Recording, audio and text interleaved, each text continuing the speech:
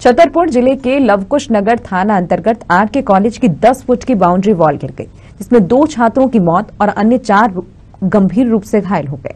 वहीं यह मामला अब ज़ोर पकड़ता नज़र आ रहा है। बता दें कि डीजी मिनरल्स कंपनी ने परमिशन लेने के उद्देश्य से कॉलेज कैंपस के चारों 10 फुट की ऊँची दीवार बनवाई थी, लेकिन वह दीवार बिना पिलर और बिना नींव खोदकर बनाई गई थी, जिसका स्थानीय लोगों के साथ क्षेत्रीय विधायक और कॉलेज प्रबंधन के द्वारा विरोध भी किया गया।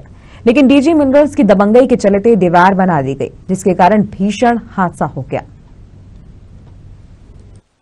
लौकुश नगर में आरके कॉलेज के पास में ही डीजी मिनरल भी है। और आरके कॉलेज के पास में जो बाउंड्री वॉल है, उसके गिरने से दो लोग की डेथ हुई थी और चार लोग इंजर्ड थे, जो भी स्टेबल है डिस्ट्रिक्ट हॉस्पिटल उनका ट्रीटमेंट चल रहा है। इसमें हमने प्राइमा फेसी तीन 304 ए का मुकदमा कायम कर लिया है।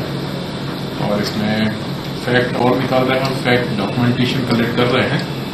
और जिसकी भी निगलीजेंसी होगी उनके खिलाफ इसमें वैधानिक कार्रवाई की कल मैंने जैसे ही घटना की बात सुनी थी, मैं अपने ही विधानसभा क्षेत्र के गुरुआ गाँव में एक तेरही के न्योते में गया था। मुझे हमारे ब्लॉक अध्यक्ष सूर्य प्रकाश पाठक जी, उनके द्वारा फ़ोन पर सूचना दी गई कि ऐसी ऐसी घटना यहाँ पे आर के कॉलेज के और डीजी मिनरल्स की बाउंड्री गिरने पे हुई है।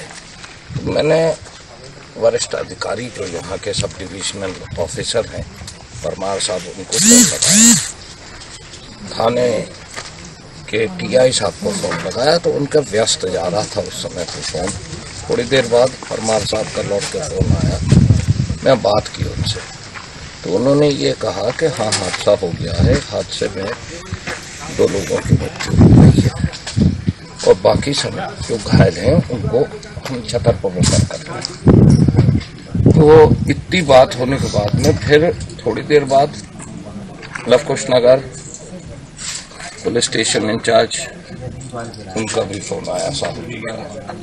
बोले, राजा साहब, ऐसा है कि ये विधायक जी हमारे यहाँ पे ऐसा ऐसी घटना हो गई है।